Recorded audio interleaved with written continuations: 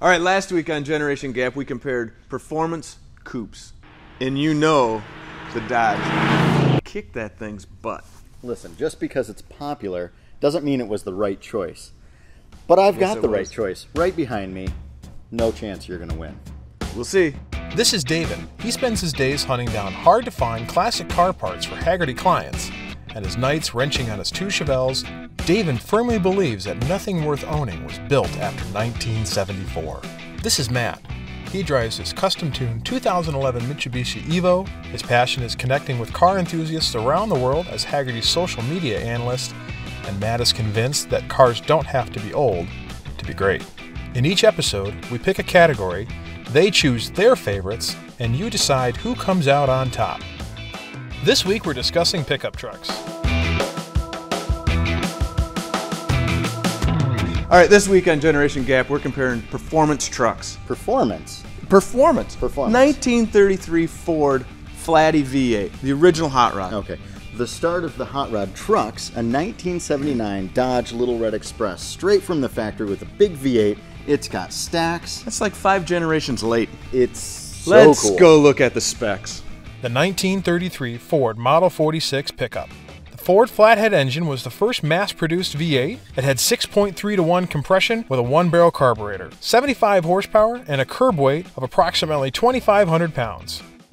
The 1979 Dodge Little Red Express. By releasing a previously approved police interceptor engine, Chrysler was able to bypass emission laws. With a mean, law defying 360 cubic inch V8, 4 barrel carburetor, 225 horsepower, and 295 foot pounds of torque, though it had a curb weight of 6,050 pounds. Only 7,306 were made in 1978 and 1979. I know you like your cars old, but this feels a little extreme. This is extreme. This is extremely cool. This is maybe older than my grandfather. Absolutely. We'll say an early sports truck, but with a V8. Heavy, classic styling, big fat fenders. You can ask me about my truck at all. No. Don't even want to know. This truck is a Little Red Express. This was the hot rod truck. I'm glad to see they put it on the door. I thought you'd like that. That's a vintage door lettering style. That's true. That's it's true. got the stacks straight from the factory. Uh-huh. It's got the 360 V8 out of a police car. And it was the fastest vehicle to come out of America in 1979. Come on, 1970. Okay, 1979. I got That's you. right. Right. All the emission stuff. This thing is fast. I can't. I highly doubt that. They found a loophole. No emission stuff. No And- loopholes in 33. There's, no laws in 33. That's right. This could have been pulled by a horse and it would have been fine on the street. Absolutely. It was faster than the Corvette. It was faster than a Camaro. It was faster than a Ferrari 308. No, Come on. This thing's like a barn door going down the road. It's not quite aerodynamic and it's still got the handling of a truck, but when you put your foot in it, that speedometer just climbs. this truck does have some personal history of hauling apples to the local farmers market. This thing has a local history of hauling ass. All right, so you may have me on being loud and seen, which is part about being a classic, It is a classic. but this is still cooler. It's vintage. You're close, close, but still far away. I, You have yet to learn. I'm catching up. this is going to pass you.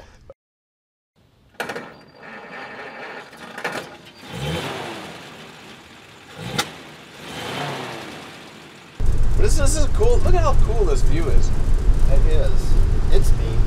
Uh, there is something cool about a flat glass windshield. Yes. Okay, whenever you're ready to drive there, kid. Try first gear. I'm trying. what did I do? Okay, now first gear. Thank you. There it is. Don't don't worry about being in the middle of the road.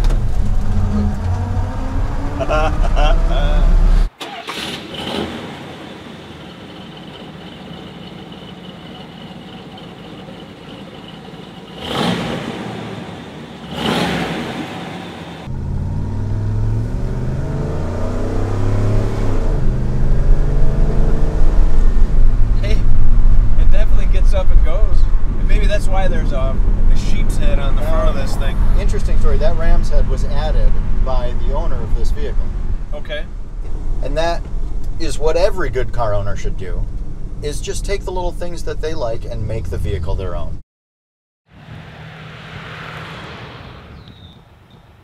What's that down there? That's a footrest. It actually works as a cruise control, believe it or not. You lay your toe, your oh. pinky toe on it, and then you just rotate your foot over. Boy, what'll they think of it next? It works very good. Are you struggling, Matt?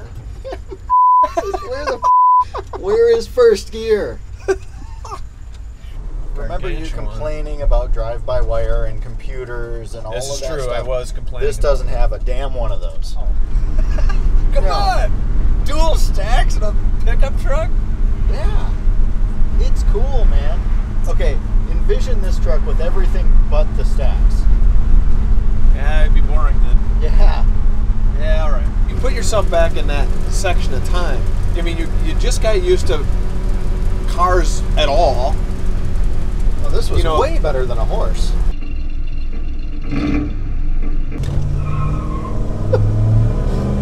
Not bad. Yeah, this is respectable for the '70s. This truck was not about being subtle. You'd think you never drove on a manual. I only drive. That's all I own. There's first. It's the simplest, most difficult thing I've driven.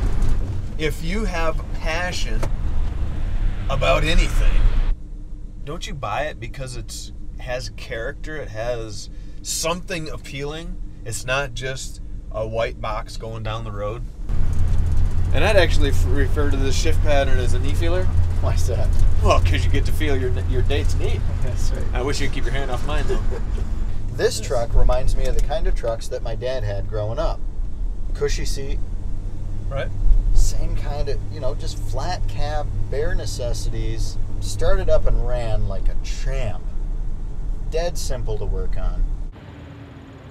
As much as I've made fun of drums, these drums are fairly comfortable. That's right. Did you see me grab that first gear just like that? I did. Like a pro. I'm gonna grind the hell out of second after I said that. now I'm starting to get it. I'm feeling a little more confident. Do you see why life is better in a classic? Yeah, the classic I brought. It was Oh. fantastic to drive. You certainly have cars that put a big frown on your face. You're embarrassed to be sitting in. I said I'm sorry about the Miata.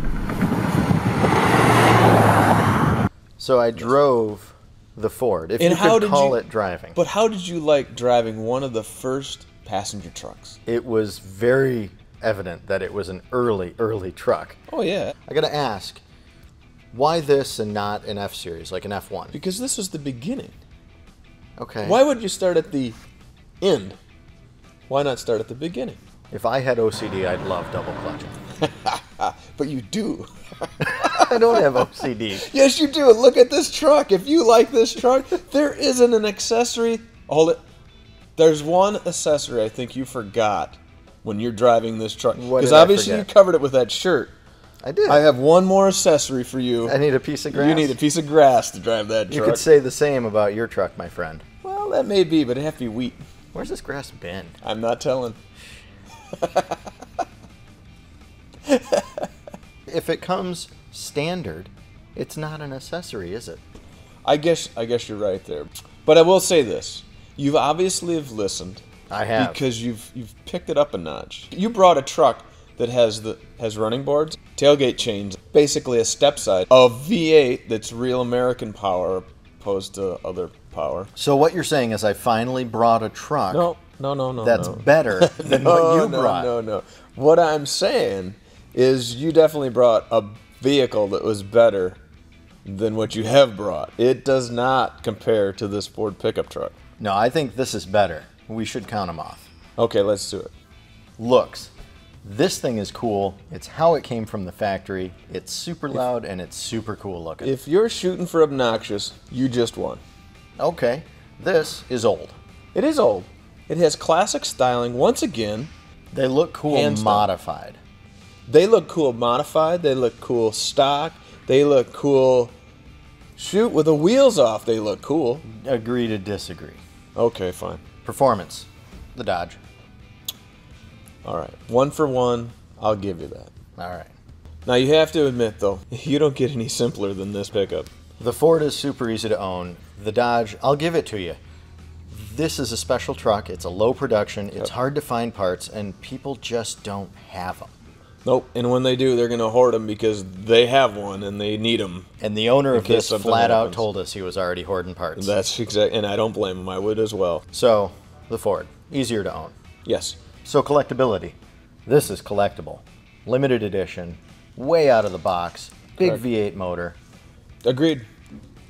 And this is certainly collectible based on, again, I hate to say this, but back to the age, there's very limited left. Pickup trucks were used and abused. especially nice steel Exactly. still existing on these. I'll give you that. Yep. But I think they're both collectible. With the right person, they're both collectible. Okay, so passionate.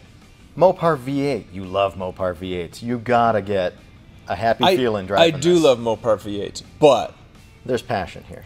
there is passion there. But I think you'll find that there's still more passion here because it, it has a, a more timeless uh, feel to it. So I get it. Your passion is in the nostalgia of the Ford pickup, the best selling pickups Absolutely. from Ford. This is passionate because it's got the big engine. You feel cool driving it. Even What's for me, this is a little audacious. That's why it's cool. Okay, maybe. Well, that's cool. See, you're starting to understand why you want to live in a classic. I get it.